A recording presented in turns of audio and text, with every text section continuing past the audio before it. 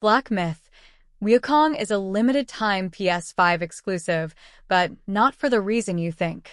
Two conflicting statements about Black Myth Wukong's delay on Xbox have now emerged, raising questions about what is actually going on.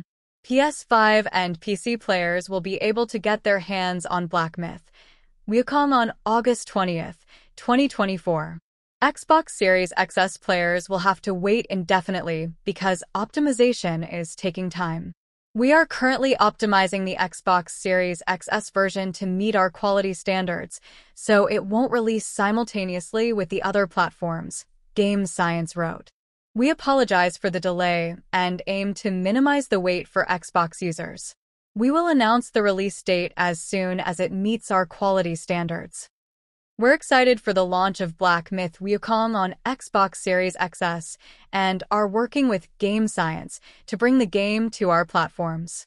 Although Game Science hasn't said anything further, Xbox Series S is widely blamed as the culprit behind the delay.